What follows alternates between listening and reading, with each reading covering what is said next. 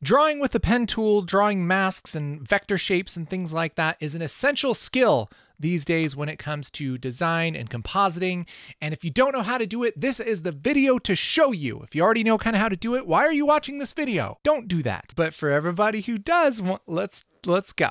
Let's just go ahead and make a new fusion composition. I'll just right click here in the media pool and say new fusion composition and leave everything as default and hit create. And we'll double click on that fusion comp to open it up in Fusion.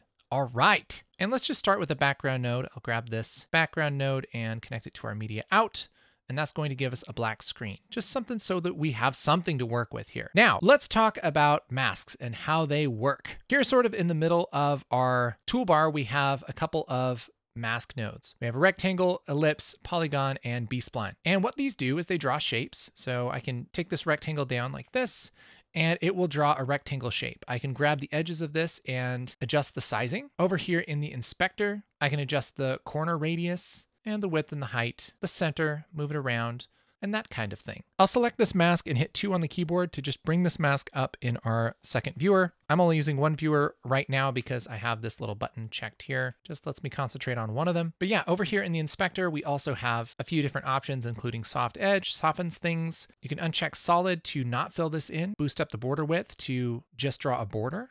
You can even do fancy things like animate the border with this length slider, adjust it with the position slider. So you can make all kinds of different graphics and effects and everything just using these controls. Very useful. Let's talk about a ellipse mask. Grab this ellipse mask and hit two on the keyboard. And we have very similar controls here. We have our soft edge, our border width, solid. We can invert any mask with this little invert button. And then we have center, width, height, and angle. But let's get to the polygon tool. Now, this is a tool that lets you create a custom shape by clicking and dragging. So let's just make a little blobby. I can click and drag, click and drag, and I'll make this kind of little blobby shape. All right, so this is the kind of thing that you draw with a polygon mask. Super useful if you want to create a shape that isn't a ellipse or a rectangle, or if you're trying to trace something out or draw some very specific kind of shape. There are a few other controls with this polygon mask we of course have our level, filter, soft edge, and border width, invert and solid, our center, and our size, which just sizes this whole thing up. But we also have three degrees of rotation, which is interesting. Z rotation is normally what you would think of as rotation,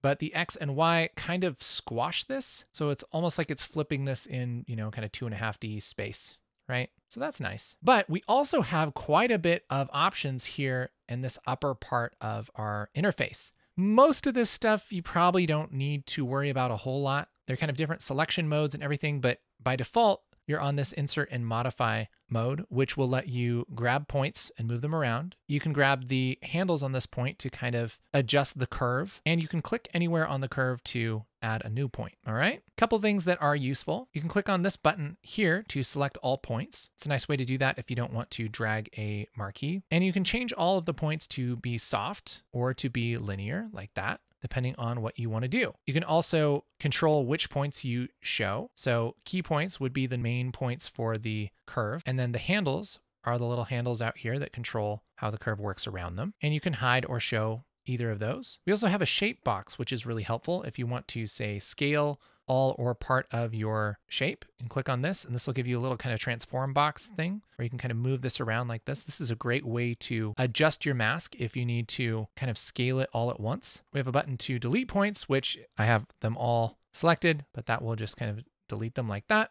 We can also reduce the points if we select whatever points we want and hit reduce. That will try and draw the same shape with less points. So if I have a few extras like this and I select them all and then reduce the points, that will take away any extra points that we have. And there are a few other things that are a little bit more advanced. One thing that's worth showing is this double poly mode. If I click on this, this will let me soften parts of the mask and keep other parts not soft. I can hit tab on the keyboard and that will switch in between the soft edge and the hard edge. And so I can grab the main edge, the hard edge, and move that around in normal mode. And if I hit tab, that'll select the dotted line in red, and I can grab the edges of that, and I can have this kind of fade out along this line. So that's really great. If you have something that doesn't have a uniform edge, you can get pretty detailed with this kind of thing. Pretty neat. So those are kind of the main controls. We have a B-spline, which is very similar to a polygon. The only difference is that instead of clicking and dragging, you just click one point, and what it will do is kind of average out and soften the points. So you always have a really soft kind of organic shape. So this is really nice. If you want to have this kind of soft shape, but you don't want to adjust curves all the time, you can kind of just have it average out for you from these hard edges. Very nice tool. Let's go ahead and grab another background here and we'll just make it green. And let's go ahead and mask this background. I'll take a polygon and just connect it to our background here. And let's talk about how to use this polygon mask a little bit in a nicer way. Let's say we want to draw something like a tree. We could draw something like kind of a cartoon evergreen sort of tree by just clicking all the points and letting them be sharp like this. And that makes this path. And towards the end of the path, if we go over our first dot, it'll show us this circle. And when we click on that, that will fill it in. Then it switches to adjustment mode and we can move these points around as we want afterwards. So now we have this kind of basic little tree. But let's say we don't want a pointy tree like this. I'll just reset our mask. We want it to be kind of puffy. Well, we can use a combination of just clicking once to give us a hard edge, and then I can click and drag to get a curved edge, and then click once to get a hard corner, and then click and drag for a soft corner, and so on, so that we can make this kind of puffy tree, right? So you click and drag when you're drawing to adjust these handles, and you just click once if you want it to be sharp. Now this one I actually want to be sharp, so what I can do is just take these handles in, just kind of push them in like that, and that'll make this sharp and I can kind of adjust this from here to be just the way that I want. If I want to adjust these handles independently of each other, normally I can grab this and they'll both move together, but if I hold control, then I can do one at a time. So we can really kind of refine this and make this really sharp like that. Same thing here, holding control. And we have a lot of say over what our curve looks like just using these handles. So yeah, now we have kind of the puffy part of the tree. And of course, if I want to draw something like the trunk to the tree, I could, you know, maybe get some kind of brown and we'll also draw a tree trunk kind of shape like this. So now we have the trunk. And we have a little tree. Isn't that nice? I can select all of these points and move this around. I can scale it up with the size like that, whatever I want to do. In fact, what might even be better is just to grab a shape box here and that'll move the actual points instead of sizing the mask, something like that. Now we have our tree. Now, one thing that I see people doing a lot is if they want to make a curve like this, maybe something like this tree trunk, you'll notice that this tree trunk, I can make a really nice shape here with only a few different points. One, two, three, four, five, six, seven, eight, nine points. I see a lot of people doing stuff like this. They'll take a polygon, put that on here, and then they'll just put a whole bunch of points here like this. And that's how they draw shapes. And I mean, you can do it that way. There's nothing, I guess, wrong with that. The only problem is that it's a lot harder to adjust it. Like if I don't like this curve, I have to select all of these points and move them around and then, you know, kind of adjust them together. And it's just really a pain.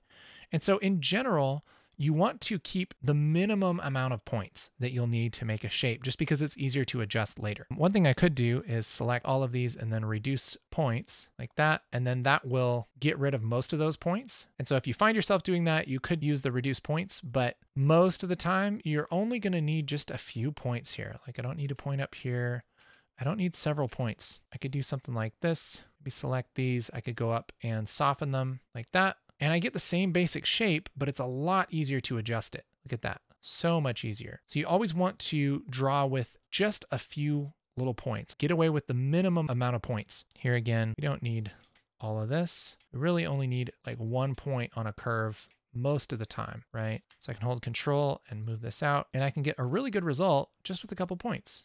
Of course, if you need to make that more complicated, you can add more points, but surprisingly often you don't need to make tons and tons of points, even when you're rotoscoping, that kind of thing. Speaking of rotoscoping, let's take a look at that. Here's the general idea behind rotoscoping. It is using a mask to trace out something in the image. Now, in the studio version of Resolve, there are some fancy tools to where you won't need to rotoscope as often. But sometimes, even with all the fancy tools, we'll need to do something like trace something out. Something that's high contrast like this, you might be able to do something like key the sky. But for an example of something you might rotoscope, you could do something like grab a mask, and we'll just connect this to our media in and I'll turn off the mask for now. And again, we're just going to pretty quickly just kind of cut this out with not too many points. Depending on your background and what you're doing, you might need to use more points, but generally you will trace out whatever shape. And then when you apply it, that will kind of cut that out, right? Then you take this and you animate it over time. The way that you do that is by selecting this mask and you go over to here where it says right click here for shape animation. You can right click here and say set key and that will remember the shape of this mask and where all the points are right here at frame 65, okay? So let's take this, turn this off again. Let's maybe move down a few frames. And then it's a matter of grabbing all your points and moving them back over to where they're supposed to go and changing your shape to make sure that it matches everything perfectly. This is a very, very tedious process that most people hate. and actually, if you were going to do this, you'd probably want to do this with tracking. You'd want to track the image so that it kind of helps you rotoscope it a little bit. But this is generally how the process is done. You move in between the different frames and make sure that your edges are right on and you check it every single frame. And once you're done rotoing, you'll have a cutout that moves along with your subject, right? That's kind of the general idea. If you want more on rotoscoping, let me know in the comments and we can do a whole series on that. That'd be neat. But that's kind of the idea with masks is you pick whichever one of these masks is closest to what you want to do. Sometimes you have to draw a custom shape with a polygon or a B-spline.